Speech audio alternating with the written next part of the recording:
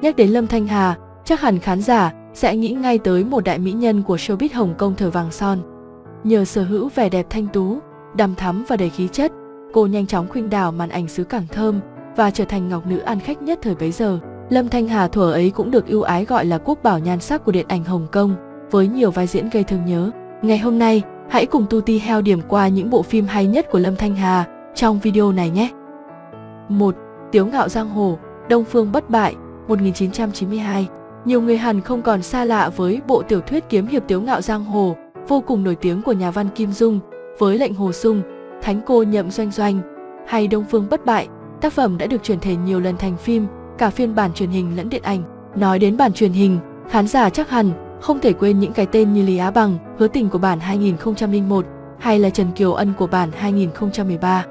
Tuy nhiên, phiên bản được nhiều người yêu thích nhất chính là phiên bản điện ảnh với sự góp mặt của Lý Liên Kiệt và Lâm Thanh Hà. Một bản tiếu ngạo giang hồ đúng chất được ra mắt vào năm 1992. Võ thuật không phải bàn cãi khi có ngôi sao Lý Liên Kiệt và đây cũng là tác phẩm làm nên tên tuổi của Lâm Thanh Hà, Đông Phương bất bại đẹp nhất trên màn ảnh.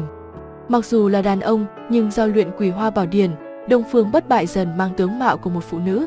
Trong một lần tình cờ đụng độ, lệnh Hồ Sung đã tỏ lòng mến mộ Đông Phương bất bại và kết bạn với kẻ đại ác này. Nhưng sự thật cuối cùng bị phơi bày và lệnh Hồ Sung phải gạt tình cảm riêng để tiêu diệt Đông Phương bất bại vì sự bình an của thiên hạ.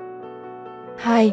Tân Lộc Đình Ký phần 2, Thần Long Giáo, 1992 Sau phần mùa rất thành công được ra mắt trong năm 1992, đạo diễn Vương Tinh cùng nam diễn viên hài nổi tiếng Châu Tinh Trì tiếp tục ra mắt khán giả bộ phim Tân Lộc Đình Ký phần 2 không lâu sau đó, vào thời điểm cuối năm 1992. Trong phần 2 này, nam tài tử Châu Tinh Trì vẫn sẽ kết hợp với dàn mỹ nữ xinh đẹp bậc nhất thời bấy giờ, trong đó phải kể đến nữ diễn viên Lâm Thanh Hà vào vai một trong những bà vợ của Vi Tiểu Bảo và cũng là giáo chủ của Thần Long Giáo. Lâm Thanh Hà là tên tuổi bảo chứng doanh thu phim chiếu dạp, rất kén chọn kịch bản, không thích diễn hài. Thế nhưng cô lại vui vẻ nhận lời tham gia bộ phim Lộc Đình Ký Hai Thần Long Giáo 1992 của Châu Tinh Trì. Chia sẻ với báo chí, Lâm Thanh Hà cho biết cô đóng phim này không phải vì đạo diễn Vương Tinh như tin đồn, mà chính bởi ngưỡng mộ tài năng của Châu Tinh Trì. Trong phim, Lâm Thanh Hà vào vai Long Nhi là giáo chủ của thần Long Giáo, từ một ma nữ giết người không gớm tay, bỗng trở nên dịu dàng khi ở bên cạnh Phi Tiểu Bảo. Với những tình tiết hài hước xen kẽ với không ít màn võ thuật đẹp mắt, phim sẽ mang lại cho người xem những giờ phút thư giãn thoải mái nhất. 3. Tân Long Môn Khách sạn 1992 Bộ phim Tân Long Môn Khách sạn 1992 là một bữa tiệc hành động đầy kịch tính, cả về những pha đấu võ cho tới đấu trí, cùng sự góp mặt của những cái tên cũng rất nổi thời điểm đó như Trương Mạn Ngọc, Lâm Thanh Hà, Lương Gia Huy và Trung Tử Đơn. Sự xuất sắc của cả một hệ thống giúp cho Tân Long Môn khách sạn được yêu thích ở nhiều quốc gia khác nhau và trong đó không thể thiếu Việt Nam. Đây không phải lần đầu mà cũng không phải lần cuối Lâm Thanh Hà đóng vai nữ cải nam trang, song có lẽ đây là vai diễn đẹp nhất của nàng, từ tạo hình đến diễn xuất, từ thần thái đến tính cách. Bộ trang phục nam nhi đen viền trắng với chiếc nón rộng vành đẫm chất giang hồ của nhân vật Khưu Mạc Ngôn, do Lâm Thanh Hà đóng đã trở thành kinh điển, nhất là khi dưới vành nón còn thấp thoáng hàng lông mày liễu kiếm, cùng với đôi mắt sắc như dao của cô Lâm. 4. Bạch Phát Ma Nữ, 1993, được chuyển thể từ tác phẩm kiếm hiệp vào loại nổi tiếng nhất của Lương Vũ Sinh. Bạch Phát Ma Nữ từ nhiều năm nay đã xuất hiện không ít phiên bản cả điện ảnh và truyền hình, với khá nhiều diễn viên tên tuổi tham gia, có thể kể tới Tân Bạch Phát Ma Nữ ra mắt năm 2014 với Phạm Băng Băng và Huỳnh Hiểu Minh, nhưng chắc chắn dù có ra thêm bao nhiêu bản nữa thì phiên bản Bạch Phát Ma Nữ được sản xuất năm 1993 do Vu Nhân Thái thực hiện vẫn sẽ được coi là phiên bản xuất sắc nhất, giành được 7 giải thưởng và 6 đề cử. Phim Bạch Phát Ma Nữ, một xoay quanh một anh chàng có tố chất võ học, đang theo sư phụ học võ trên núi Võ đang nhưng lại không có nhiều cảm hứng với võ học. Anh ta cũng là người kế nhiệm không mong muốn của Võ đang và chỉ huy không chắc chắn của các lực lượng của gia tộc trong một cuộc chiến tranh chống lại các bộ lạc nước ngoài và một tà giáo. Điều ấn tượng nhất ở bộ phim này chắc chắn là diễn xuất tuyệt vời của bộ đôi Lâm Thanh Hà và Trương Quốc Vinh. Đạo diễn Vu Nhân Thái đã rất thành công trong việc cân bằng các yếu tố võ thuật, tưởng tượng, bi kịch và lãng mạn của phim, một điều cũng hiếm khi xảy ra với dòng phim võ thuật của Hồng Kông đầu thập niên 1990. Vì thế Bạch Phát Ma Nữ trở nên lôi cuốn khán giả nhờ tất cả những yếu tố. Phần 2 của bộ phim ra mắt cùng năm vẫn có sự góp mặt của Lâm Thanh Hà và Trương Quốc Vinh, cũng được khán giả đánh giá rất cao. Nội dung của phần 2 là sự tiếp nối với các sự kiện ở phần 1 sau cuộc tàn sát của ma nữ đối với môn phái võ đăng. Ở phần 2 này còn có sự góp mặt của những cái tên rất đáng chú ý như Trung Lệ Đề, Vạn ỷ Văn hay Trần Cầm Hồng. 5. Thủ đoạn cua trai 1993 Thủ đoạn cua trai ra mắt vào năm 1992 được thực hiện bởi đạo diễn Vương Tinh với những tình tiết hài nhằm điển hình trong phim Vương Tinh pha trộn với sự sáng tạo trong cách gây cười. Dàn diễn viên tham gia trong phim thuộc loại đình đám nhất thời điểm bấy giờ, từ Trương Mạn Ngọc, Lâm Thanh Hà cho tới Lương Gia Huy, Trương Học Hữu và Lâm Chí Dĩnh. Nội dung của phim Thủ đoạn cua trai bắt đầu từ việc người cha vì muốn ba cô con gái mình nhanh chóng lập gia đình, vì vậy bày mưu giả bệnh sắp chết, mong rằng trước khi chết có thể thấy các con đã có nơi có trốn. Ba cô con gái vì thương cha mình nên nhanh chóng đi tìm một chàng trai làm vật thế thân, nhưng do lâu ngày già làm tình nhân, tất cả bọn họ đều phát sinh tình cảm với nhau, để rồi xảy ra nhiều tình huống dở khóc dở cười. 6. Tân Tuyệt Đại Song Kiêu 1992 Bộ phim Tân Tuyệt Đại Song Kiêu được ra mắt vào năm 1992, được làm lại dựa trên bản gốc của Cổ Long.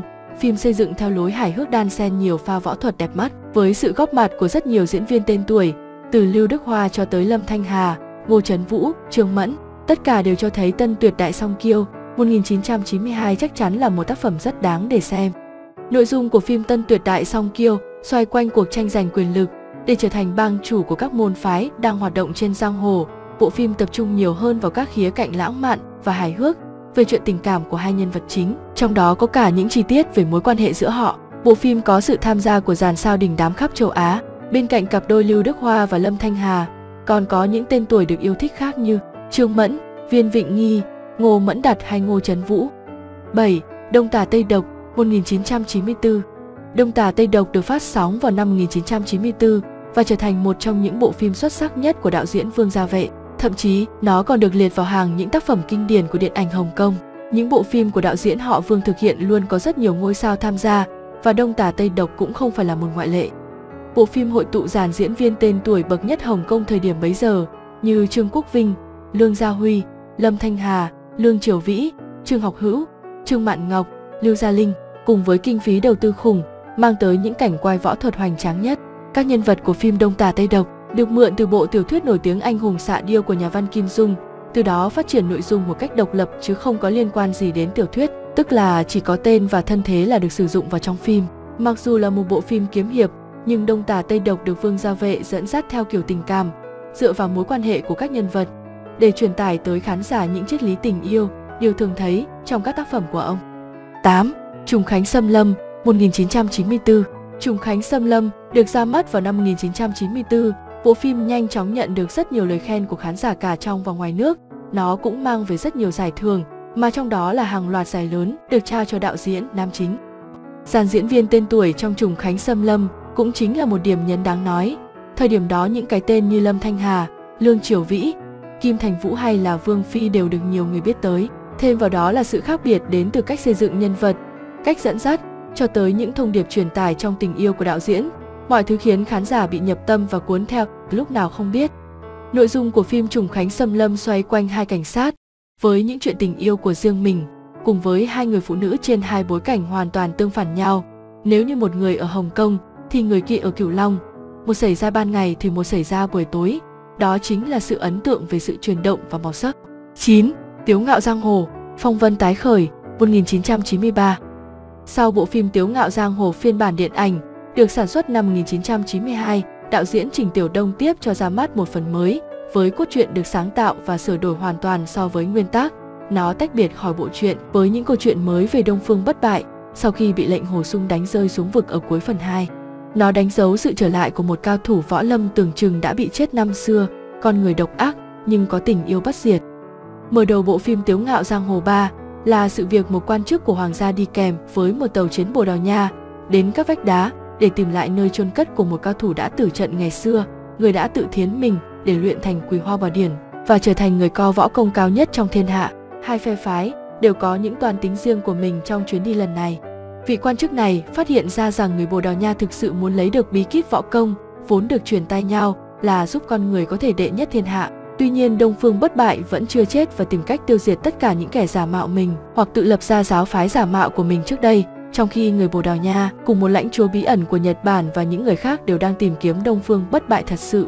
10. Thiên Long Bát Bộ, Thiên Sơn Đồng Lão, 1994 Dựa theo cuốn tiểu thuyết của Kim Dung, bộ phim Thiên Long Bát Bộ chắc chắn không còn xa lạ gì đối với nhiều khán giả Việt. Tác phẩm gắn liền với tuổi thơ của không ít bạn trẻ này có nhiều phiên bản được ra mắt trong nhiều năm trở lại đây, mà đa số là bản truyền hình. Không chỉ vậy, nó còn có bản điện ảnh vốn cũng rất thành công, được ra mắt vào năm 1994 với cái tên Thiên Long Bát Bộ, Thiên Sơn Đồng Lão. Mặc dù không quy tụ những ngôi sao võ thuật hàng đầu, tuy nhiên Thiên Long Bát Bộ Thiên Sơn Đồng Lão vẫn được đánh giá rất cao khi có sự góp mặt của bộ ba nữ diễn viên xinh đẹp, tài năng và nổi tiếng bậc nhất Hồng Kông thập niên 90 của thế kỷ trước. Đó là Cùng Lợi, Lâm Thanh Hà và Trương Mẫn. Chính vì thế đây vẫn là một bộ phim thực sự rất đáng để xem. 11.